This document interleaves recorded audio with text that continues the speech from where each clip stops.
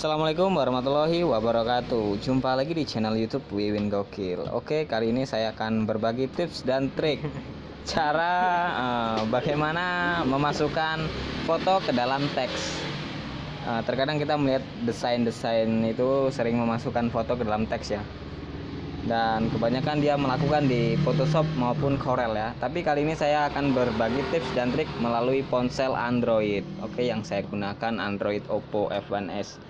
Tapi semua Android bisa tanpa root. Nah, langsung saja yang harus pamer Anda download. pamer lah, pamer. yang harus Anda download adalah uh, ini ya.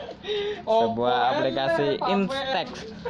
Instax adalah aplikasi untuk memasukkan foto ke dalam teks.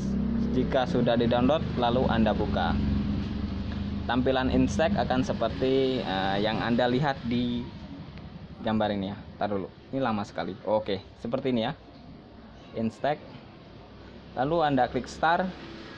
Nah, di sini adalah background ya. Warna ini adalah background, terserah mau background apa.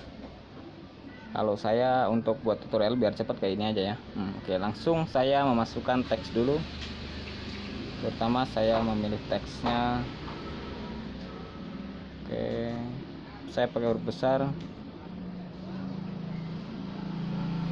win saja ini nama panggilan saya sebenarnya oke checklist nah di sini keluar huruf B dan membuka foto ataupun galeri.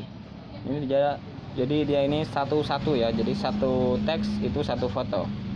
Oke langsung kita pilih fotonya di galeri. Instagram contohnya saya akan memasukkan. Ini bisa kita geser dan bisa kita kecilin. Tinggal tekan dengan dua jari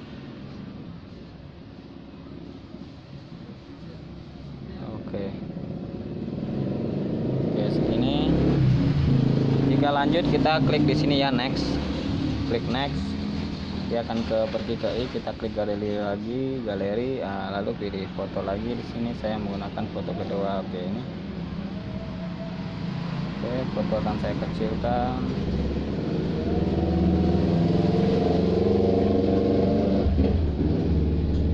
Ke next ke n.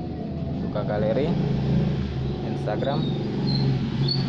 Lalu saya foto yang ini saja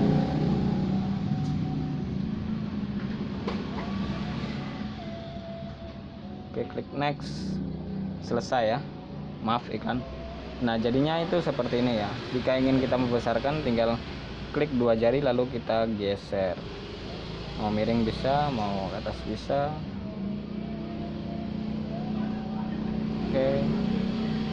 Oke untuk mengganti background kita klik di sini ya color. Kamu cari warna di sini.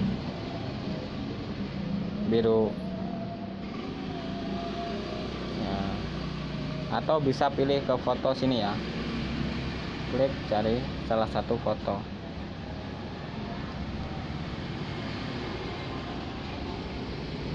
Nah jadinya seperti ini.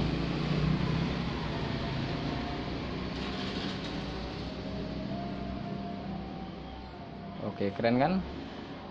Seperti di Photoshop tapi kita hanya menggunakan ponsel.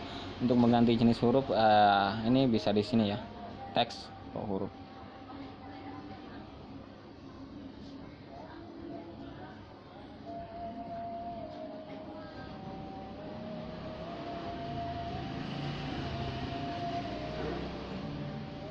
oke jangan terlalu blur ya. Oke ini tadi belum saya jelaskan ya. Ini fungsinya untuk mengeblur background ya. Nah jadi seperti ini. Biar si teks itu lebih kelihatan fokus Oke, jika sudah klik save di sini ada klik save atau bisa berbagi. Saya klik save dulu, setelah menyimpan bisa kita bagikan di sini ya. Uh, melalui berbagai jenis jejaring sosial Facebook, WhatsApp juga bisa di sini ya. Saya contoh akan pergi ke WhatsApp untuk bikin status misalnya kan bisa